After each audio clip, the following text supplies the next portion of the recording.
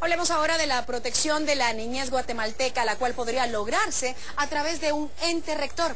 Algunas instituciones actualmente están trabajando en iniciativas que pretenden velar por los derechos de los menores.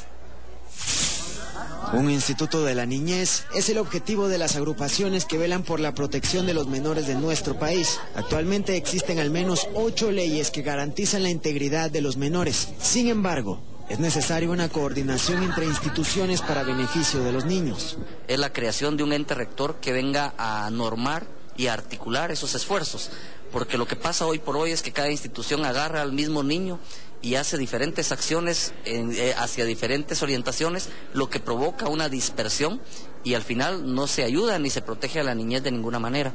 La semana pasada se firmó un convenio interinstitucional entre los entes encargados de velar por la protección e integridad de los niños, una medida que UNICEF ve con buenos ojos aunque reconoce que hacen falta esfuerzos mayores. En Guatemala se han dado algunos pasos y algunos avances en el tema del sector justicia, sin embargo en el tema de protección especial de los niños y las niñas víctimas de la violencia, eh, este, esta es la primera vez que se está hablando de este tema. Entonces constituye realmente un paso eh, importante para el país. UNICEF está muy satisfecho. Guatemala pretende implementar un ente rector de protección a la niñez, como los que ya funcionan en Costa Rica, Ecuador y México.